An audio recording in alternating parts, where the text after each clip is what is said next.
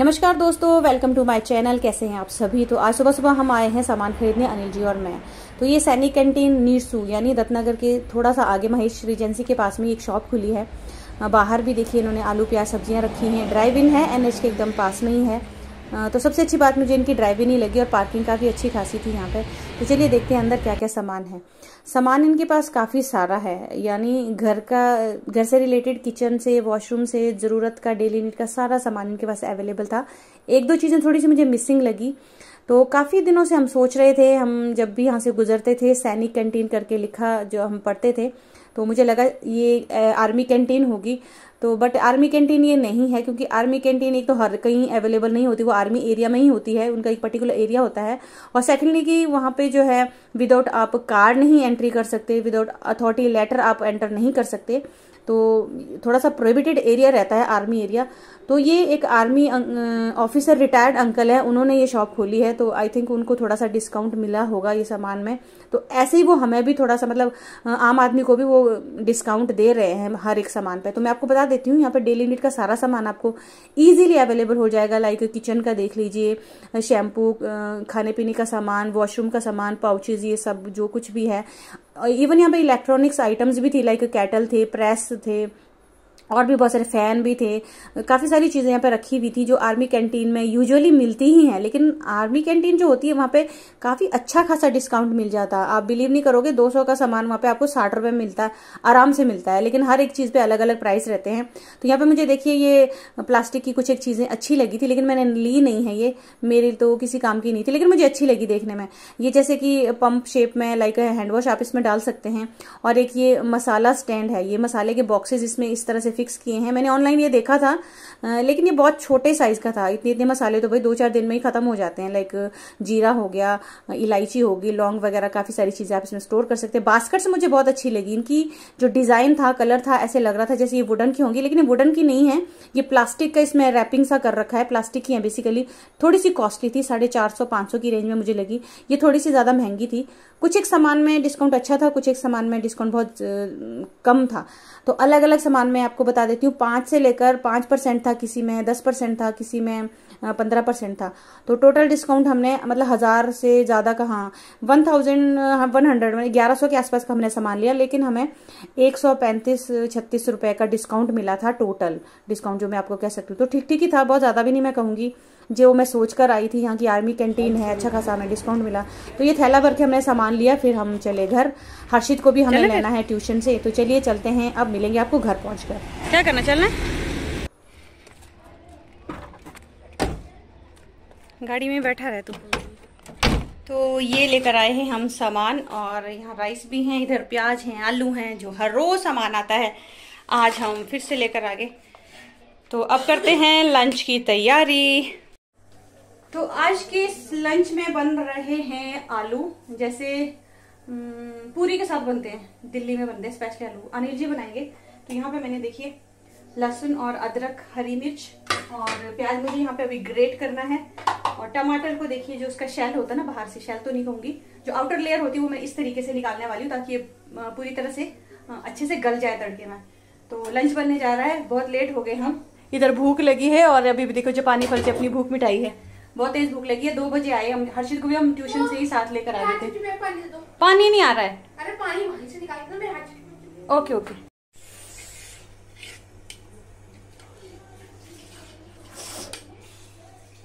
इस तरह से छिलका एकदम आराम से निकल जाता है। आगे चल जाएगा ना हाँ हाँ चल जाएगा।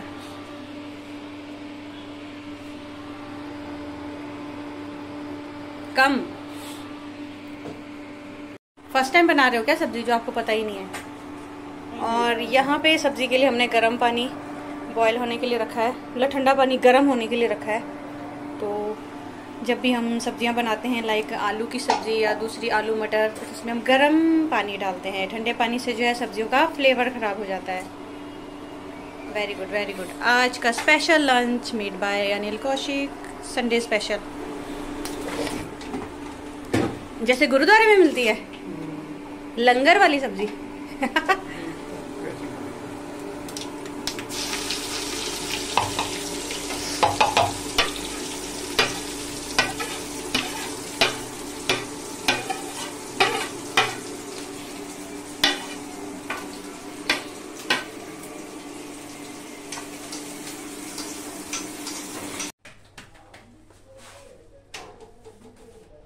की सब्ज़ी ये देखो मस्त वाली आलू की सब्ज़ी तैयार है। साथ में पराठे बनाए हैं मैंने प्लेन पराठे। अच्छे पराठे? और ये है चटनी। अनिल जी के द्वारा बनाई गई सब्ज़ी भी अनिल ने बनाई है चटनी भी अनिल बनाई मैं ऐसे पराठे बनाए वैसे तो पूरियाँ बनाने वाले थे लेकिन आज पूरी नहीं बनाई मैं तो भूल ही गया था।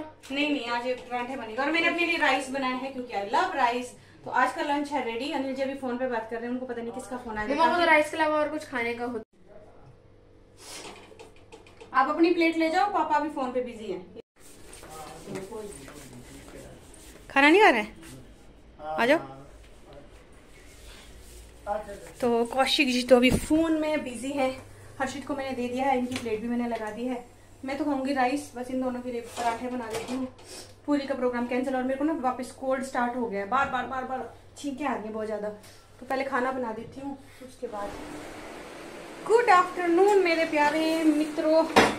लंच वंच करके मैं तो अपने काम में लग गई थी। ये सूट मैंने कंप्लीट किया और यहाँ पर प्लाजो है और ये पर्पल कलर का सूट है, जो मुझे कंप्लीट वैसे पिछले कल करना था, लेकिन आज हो पाया है मुझसे ये फाइनली कंप्लीट अब इसमें इंटरलॉक करना बाकी रह गया है। लगभग ये तैयार है। तो हर्षित जी वहाँ पर लेटे हैं। वो देखिए वहाँ पर मस्त अपना पढ़ाई कर रहा था अभी तक और कौशिक जी कहाँ गए? तो अंदर पड़ेगा कित गए तुसी? चाय बन रही है गर्मा गर्म बना दी? हर्षित के लिए क्या बनाया? कॉफ़ी। Very good. तो हमारे पतिदेव हमारी सेवा में लगे हैं। चाय बन रही है हर्षित के लिए कॉफ़ी बन रही है। मस्त मैं फ्री हो चुकी हूँ। अब जाएँगे हम थोड़ी देर घूमने फिरने और सनसेट अभी होने वाला थोड़ी देर में। हाँ जी। इधर ला दो बाहर। थोड़ा सा साफ़ सफ़ाई कर लेती हूँ। देखिए गंदगी फैल गई है इधर। कहाँ है हमारी चाय? ये वाला कर्टन हटाओ। चाय पकड़ाओ गोलू जी। मैं तो गर्म ही पीऊँगी ना, आप पियो ठंडी चाय। मेरे को यहीं से पीनी है।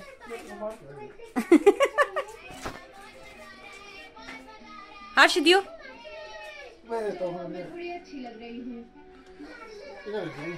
थैंक यू चाय बनाने के लिए। धन्यवाद। ये। बन ही जाएगा कुछ तो इसका। तो जी शाम का टाइम है पूजा पाठ हमने कर लिया है तो आज स्पेशल डिश में बनने जा रहा है चिली चीज़ जिसके लिए हमने लोकल पनीर लाया है। तो चलिए करते हैं तैयारी। तो गाइज़ आज डिनर में मैं कढ़ाई पनीर बनाने जा रही हूँ। वैसे तो मैं चिली चीज़ बना रही थी लेकिन मूड चेंज हो गया तो मैं बना रही हूँ कढ़ाई पनीर। यहाँ सारा सामान मैंने तैयार कर दिया है। तड़का भी तैयार है और इधर मैंने आटा भी आ, निकाल दिया है गूंदूँगी। तो अनिल जी तो आ, मैच देखने में लगे यूजुअली सैटरडे की शाम को या संडे की शाम को वही खाना बनाते हैं। तो उनको अच्छा लगता है किचन में मेरे साथ हेल्प करना। आज वो मैच देख रहे हैं हर्षित अभी नहाने गया है। तो मैं ये सारा बनाने के बाद फिर आपसे मिलूँगी। तो चलिए फिर मैं ये सब बना देती हूँ पहले। तो जी लच्छा पराठा और कढ़ाई पनीर। कुछ लोगों के लिए ये बना है और कुछ लोगों के लिए बनाएँगे हम चपातियाँ। ये लो हर्षित। ग्रेट गन ले बेटा हाँ।